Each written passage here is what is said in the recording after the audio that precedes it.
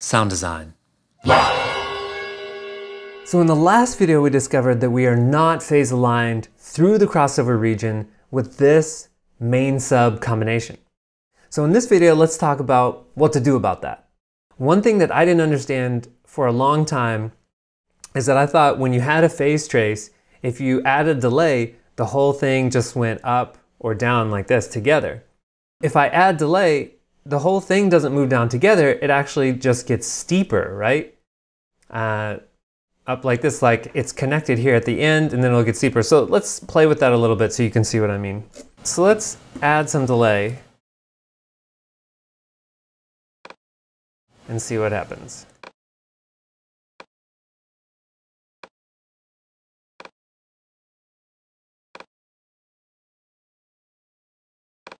Let's add two milliseconds.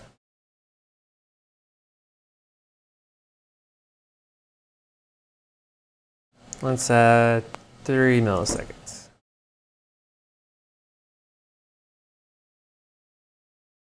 Okay, so you kind of see what I mean.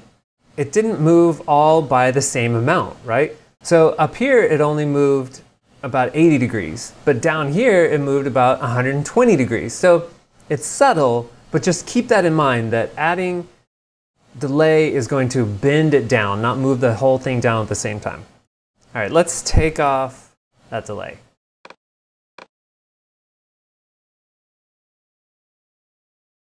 Cool.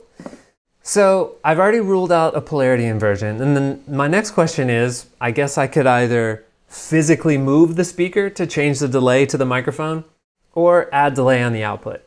And in this case, since I have the speakers lined up grill to grill flush right next to each other, I think I'm gonna do is add delay and then I'll just have that as a setting in the future and I'll remember when I deploy these, when these speakers are right next to each other, they need this amount of delay to be phase aligned through this crossover region uh, to match this target that we talked about.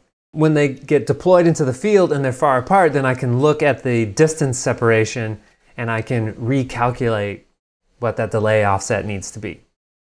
Okay, so enough of that. Let's look at how much delay we would need to add to bend this main measurement down to match the sub. The probably, I don't know, dirt quick, but definitely the uh, easy way to do this is just to add delay until the pictures match. Let's do that first.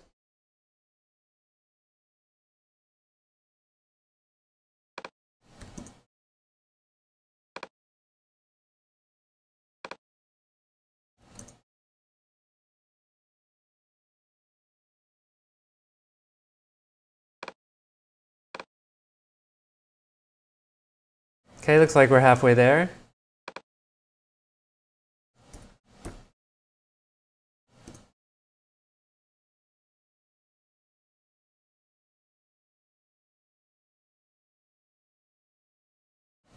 Okay, we made it up in this area, but we still want to be matched down here as well.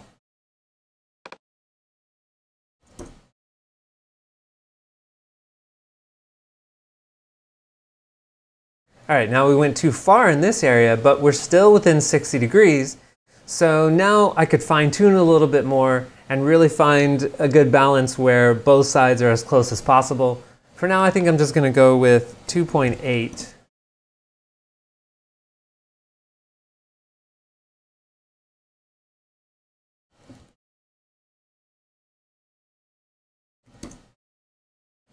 Okay, so 2.8 milliseconds got us from this blue line up here all the way down to where this pink line is here. And now we are aligned within 60 degrees throughout the crossover region. Um, and I can stop now, but I want to go back and show you one more method for calculating this that might be useful for you. So let's, uh, actually I'll leave that delay there and I'll just hide this other trace for a second. So here's where we were, right? If we wanted to calculate exactly the time offset at a particular frequency between two different speakers, we can use the formula delta phase divided by 360 divided by delta frequency. What frequency is that going to be? Well, a lot of times it would be right in the middle, okay, to give us an offset. But let's see what would happen if we pick a couple different spots. Let's do the middle here, and then let's do up here at the top where it's the worst. All right, so at 100 hertz, the main is 139.8 degrees. So let's call that 140.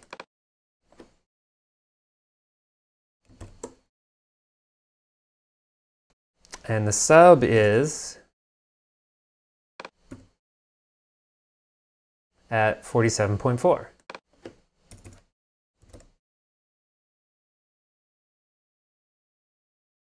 So now we have a pretty easy calculation to do. 140 minus 47 is 93.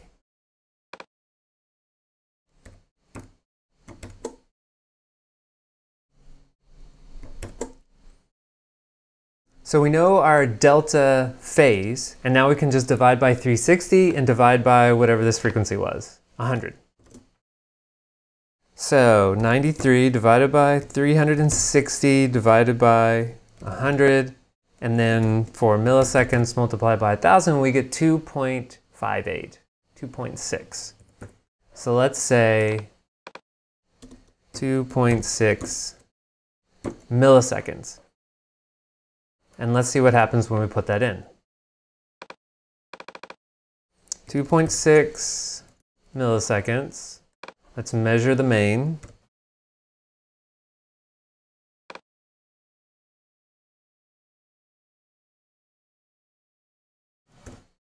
And there we go, perfectly aligned at 100 hertz where I wanted it to be. And this actually looks like it's going to work really well because down, down here we can see we're a little bit low, up here we can see a little, little bit high. But this has worked well for me a lot in the field. I find what the crossover region is, I find what the center of that region is, and then I use this formula to quickly calculate what the delay is going to be so I don't have to put it in, wait for the trace, put it in, wait for the trace, and like keep moving things around. Either way is totally fine. Um, this math is a little bit quicker um, and it's super easy to remember. In fact, it is on the back of my Aiming Triangles business card, and I'll put a link to that in the notes below this video. Oh, we forgot to look at um, both of them together now that we did the alignment. Okay. Turn on main and sub together. Go. Seems to have gotten worse. What is wrong here? Oh, there we go. There we go. Okay, so this is our entire crossover region. Here, let me stop talking.